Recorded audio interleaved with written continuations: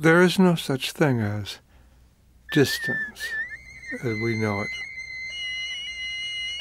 Distance, measured in visual terms, is a halfway point between the physical and the purely, for lack of a better word, immaterial realm. When someone becomes distant, she goes to another location. And to do so, she figuratively or literally becomes smaller to an observer who remains behind. On our physical material plane, extreme manifestations are named distance, and they exist in a perceptibly continuous space. However, the immaterial plane, which intersects with the physical, is made up of what is termed discontinuous space. Let us say you are at point A with one friend and you want to visit another friend at point B, which lies at the extreme end of this wide, elongated valley. What you do is say goodbye to friend A and move toward where you believe point B to be located, following a theoretical line.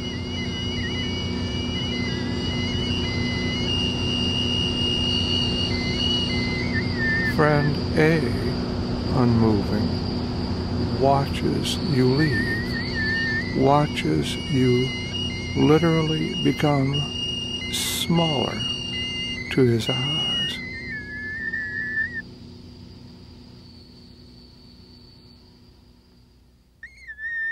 At some point, we will call it X. You disappear to him altogether, which means he forgets you.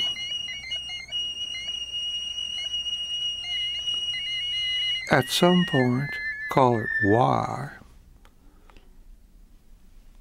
which may or may not be the same as point X. You suddenly appear in the smallest discernible size to friend B and become larger for him until you stand before him in actual size. This means he truly sees you for the first time.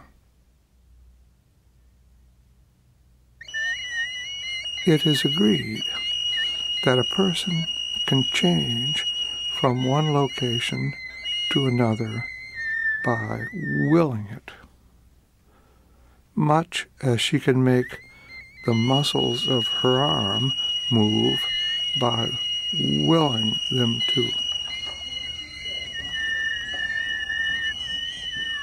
The muscles of the arm often move without conscious participation, as when you find your arm abruptly lifting off a heated coil or in the midst of an obscene gesture you had no intention to make. let us postulate that you can will yourself to another location and that it can be accomplished in more than one way.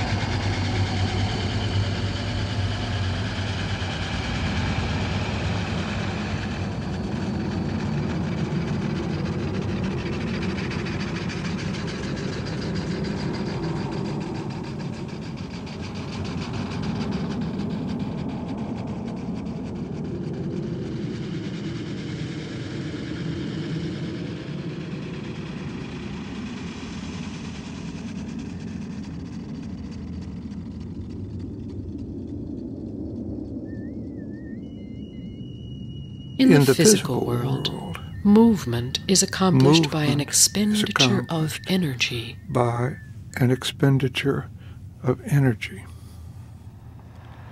A few in our material world are born with the ability to a few will in our material themselves world are to born with another the ability location to will themselves without to another location engaging without engaging the body. body. During such, such travel, travel, the physical body the remains physical body fixed, while a mind conglomerate travels to another location.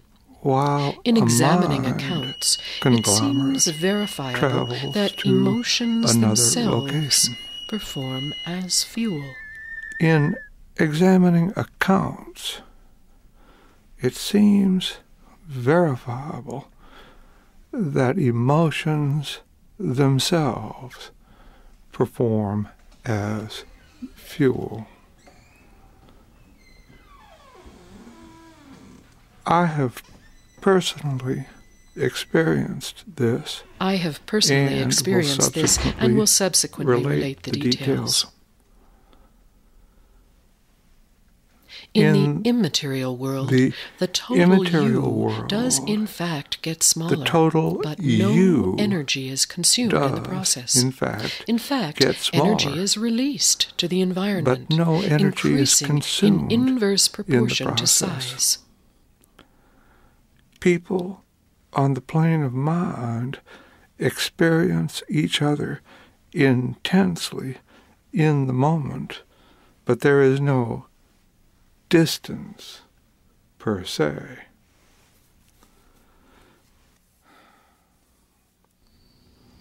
Allow me to explain. People on the plane of mind The visual experience sense each other intensely in the intact, moment, but, but there is no it is distance per as se. if Allow the me to explain. The visual sense remains intact, the eye, but it is as if the entire body has become the, the eyes, comparable to the sensate of the acuity of the membrane of a of a cell. travel does not exist on the immaterial plane. Rather, we speak of the ability to manifest Travel does not exist on the immaterial plane. Rather, we speak of the ability to This manifest at different locations. Theoretically, This means that theoretically that one, one could, could exist at an infinite number of locations, and size would be infinitely infinite small at each. number of locations and size would be infinitely small at each. However, such shrinking creates an influx of energy. Energy is Such shrinking creates an influx of energy. Energy is specifically increased by multiple manifestations. That is the law.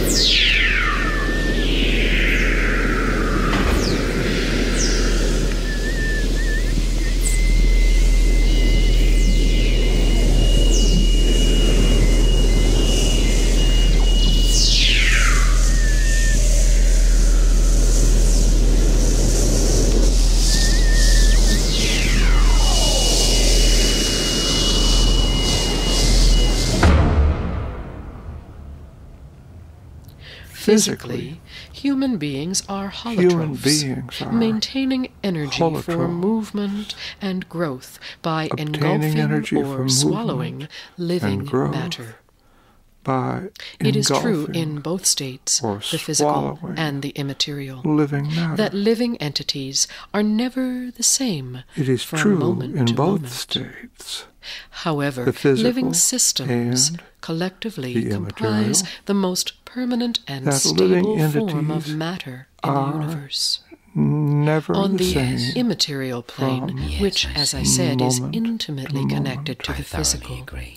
there are no true objects, However, no things, only living willing entities. collectively One being can inhabit the the, same permanent space as and another. In fact, two or more often matter merge in, in a concentric the arrangement, universe. infusing but never consuming one another. They On are the called immaterial concentrics. which, To as I anyone, said, the is whole constellation might be more or less present physical. simultaneously. He means Following One is an being attempt to describe how it can works. inhabit the same space as another. to any entity's fact, perception. Remember that for or anyone, more others can exist inside it. There is a in point a at once central, which contains less than nothing. infusing, but never Each new level of organization allows expansion from Following that point. is an There attempt to of describe infinite how dimension. it works. Other spheres, not infinite, are so indistinct There is a point they point barely at persist. once central, Those are the revulsors, which contain the less isolates, than our greatest enemies, and oftentimes our dearest loved ones. there are spheres. the ones who, for various reasons, won't give you the time of day. When creatures do not maintain an entirely equal attraction for one another, they may still so continue to exist in a coincident field. They In such cases, there is no way to determine empirically if other entities are extremely small, Those or if are one's self the is become revolving, exceedingly large. the I mean to say, isolate say what I mean. Distance, as we know it, is our only a greatest halfway enemy. house between the material and often our dearest loved ones. No, that's static. You know. The ones who, for various reasons, us to endlessly won't give you the time of day. blood against it. Blood's rules, Do not maintain an entirely equal attraction for one another. Adored it when he knocked over the music stand. They may still continue to exist in coincident. Everyone to go around. Everyone, all time. In such cases, some kind of there is no way to determine empirically if other entities are extremely small, or if one's other beings self has become Are you part exceedingly large. Algebra cannot solve this dilemma. Algebra Algebra cannot, cannot solve, this solve dilemma. this dilemma. On the physical plane, entities not oneself seem predictably Physically, smaller than the oneself in terms of universe value. Seems Physically, to be the entire universe seems to be outside outside oneself at any time. at Is any it time. because the self perceives space Is as it because something the into self which the body is born? perceives through which it moves, metabolizes, reproduces, into which and the dies. body is born, There is no limit to space. through which it moves, Space is truly discontinuous. metabolizes, Yet to experience the physical as infinite and, and dies. discontinuous constitutes a supreme there is no limit of the to mind. space. Why? Space is truly discontinuous. Yet, to experience the physical as infinite and discontinuous On the immaterial plane, the entire universe exists within one's own Dingly, energy membrane. bells and Why balls. then, on the immaterial plane, On do the immaterial entities plane, sometimes become smaller the entire as they do universe with physical distance? exists Is it because you no longer need them, or no longer feel them a necessary do part of your entities life? sometimes become Going smaller somewhere means that you no longer as they think do about the with person physical or place you wish to leave, but you think instead with This more frequency and duration physical about another description person, of a change of heart. another location. This is simply a, straight physical line description of a change of heart. being the a shortest straight distance, line being between the two shortest distance points, between two points, but not so but easy not to so obtain easy to obtain in real, life. life.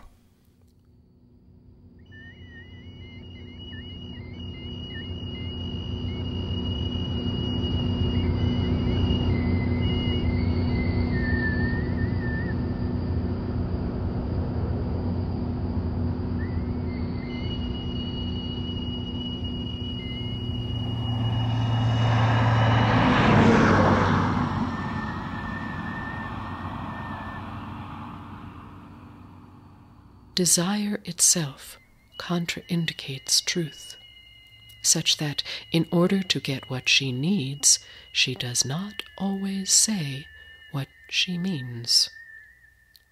The human sensory apparatus has built and makes use of the tool of geometry for moving about physically. However, geometry has no material basis. Geometry exists within the realm of abstract thought. How, on any scale, could each and every being be inside each and every other being? A sphere with an infinite number of points equidistant from all others is the theory behind the fact that people carry around inside their souls every person they have ever loved, as well as those they have hated. Death Death makes no difference. makes no difference. Those loved or hated ones may carry around inside their minds the lover or the hater. Or they may carry around an entirely different set of individuals, or no one at all. It has been said that people exist who can hold all others alive in their minds. This may be what is meant by samadhi or enlightenment. not a depletion or an emptying, but an active encompassing. What about the people who have no others inside themselves? They are simply at an extreme location. Why? Why? Because they want to be.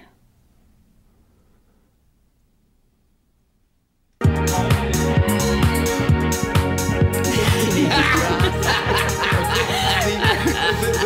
the, the XYZ of it is that truly, and I mean this in a generous, welcoming sense, mm, there is no such thing as distance as we know it. Yes, yes, I see. I thoroughly agree. Yes. This organic red isn't half bad, I must say.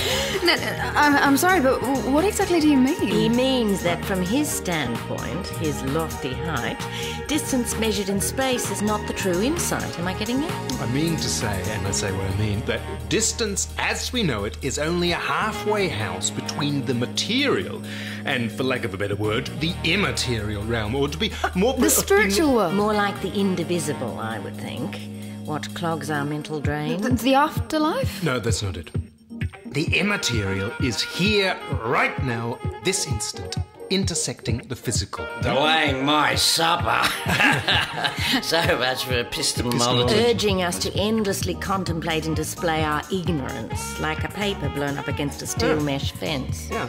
As I understand it, people on the immaterial plane experience each other intensely in the moment, but there is no distance per se. The visual remains intact, but it's reduced, atrophied, in fact, as if the entire body has become the eyes. Hmm. It's something like the sensate acuity of the membrane of a cell. We material living systems are certainly holotrophs, Holotrope. consuming other living systems in order to survive. Yes.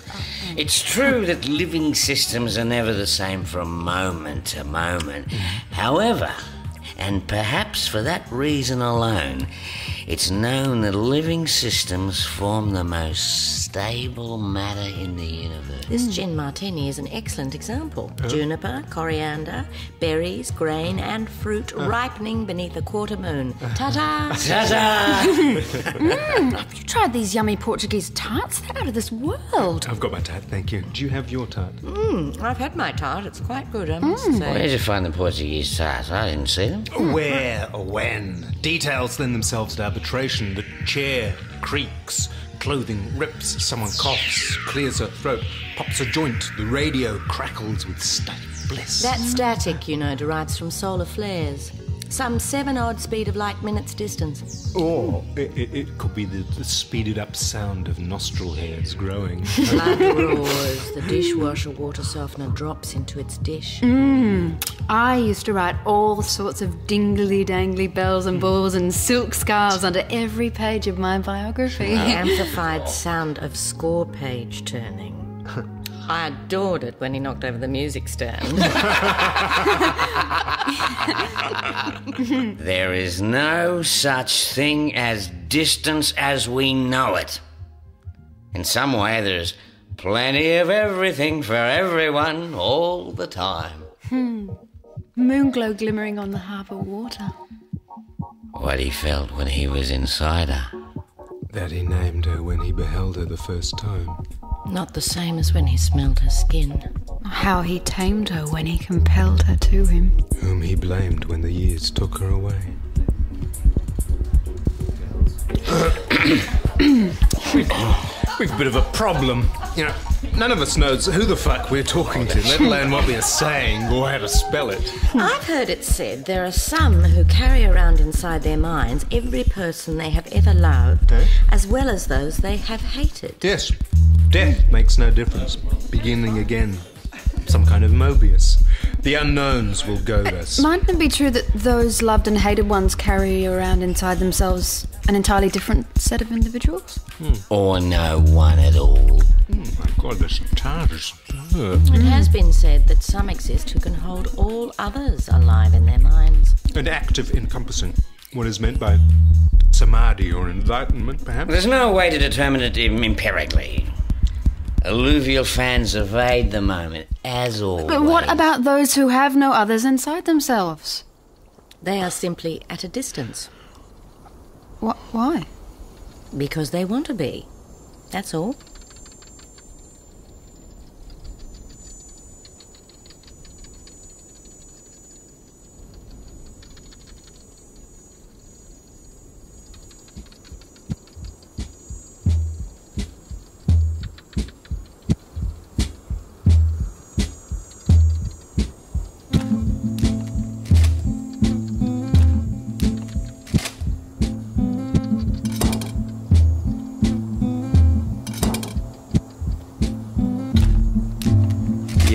XYZ of it. A composition for radio, written and produced by Melody Sumner Carnahan for ABC Radio Audio Arts in Sydney, Australia.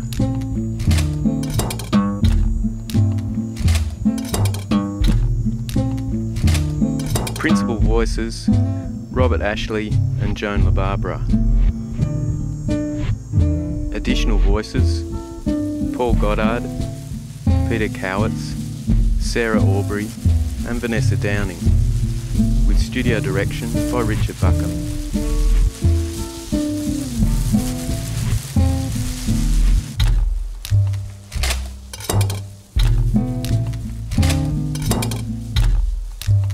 Sound engineering, John Jacobs.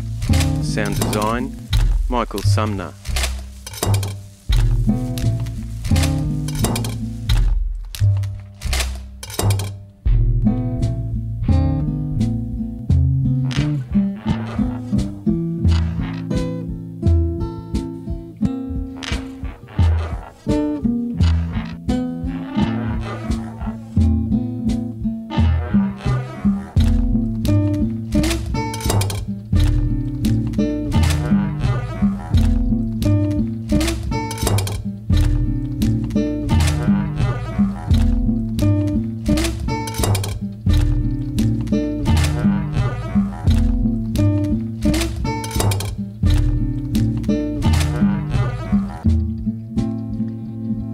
Music by Mayim Alpert. And Spilt, David Smith and James Hurley. Recording of solar flares by Tom Ashcraft, Radio Fireball Observatory, Santa Fe, New Mexico.